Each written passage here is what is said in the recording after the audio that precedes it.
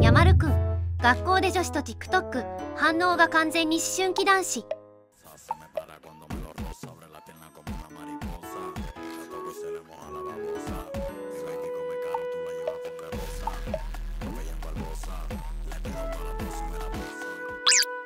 高一のやまるくん。学校の女の子と TikTok 途中でどっか行くの思春期男子のそれで可愛い。ノリノリな女子とだるそうなやまる。細胞女の子一人で踊ってるの草。